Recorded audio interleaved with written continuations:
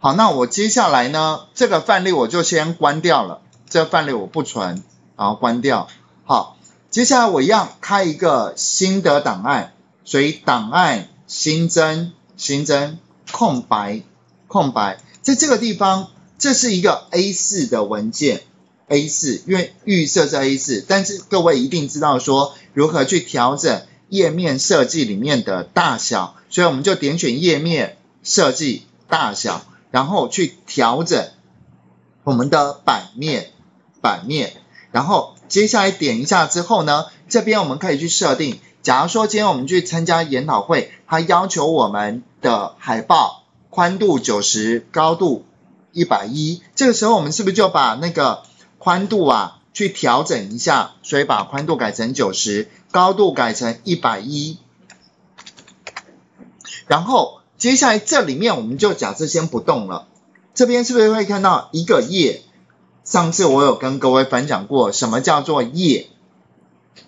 什么叫做页嘛？对不对？好，接下来我们点选确定。现在我们的大小是多少？是九十公分宽，所以零到九十。可是哦，在这么宽的一个一个设计里面，我觉得。有这个辅助线功能，对我们的设计是有帮助的，因为它可以帮助我们去呃对齐物件。好，那通常我们假如说想要设计成两栏，两栏，那之前是段落里面可以设两栏，可是这个辅助线可不可以在这个地方画出来？例如说两栏，好的一个边界线。这就是我现在要跟各位谈的重点，所以点选辅助线，辅助线这边是不是有很多种形式？你可以设计成两栏、三栏、四栏就很少见了。我们通常最多设计到三栏。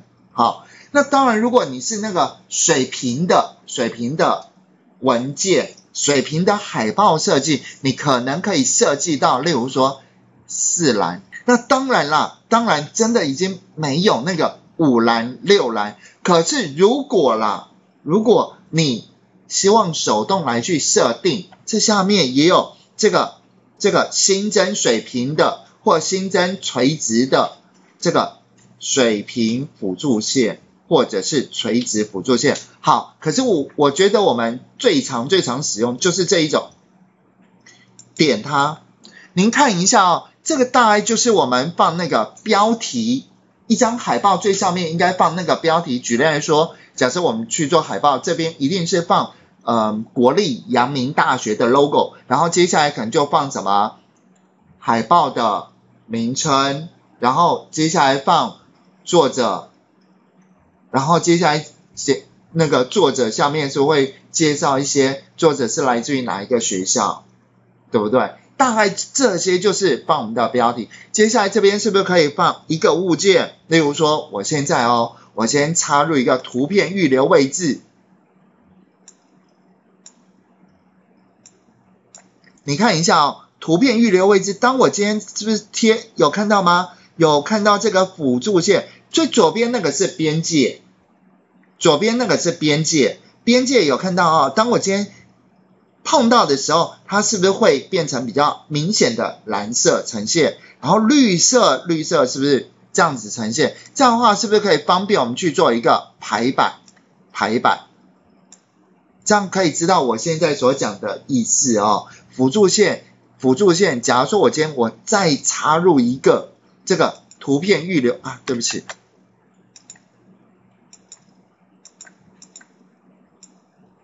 假如说今天我在一个图片预留位置，你有没有发现这边都配置的刚刚好，刚刚好，好，所以希望希望各位你们稍微知道一下我现在所做的这件事情，可以吗？辅助线在我们画制作海报扮演很重要很重要的角色，所以请你们一定要学会在页面设计里面有一个辅助线。麻烦请设定，例如说两栏的辅助线，就是辅助线这边选择这一种，选择这一种，其他你不会都无所谓了，其他我觉得无所，就是这些其实是真的不是那么重要。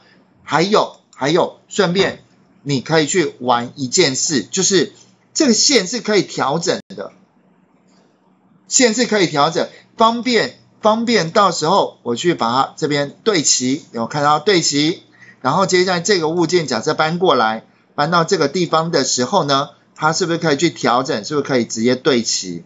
好，所以你可以任意的去决定决定我们这个中间呐那个两栏的栏距。好，请你们现在动手来去玩一下辅助线。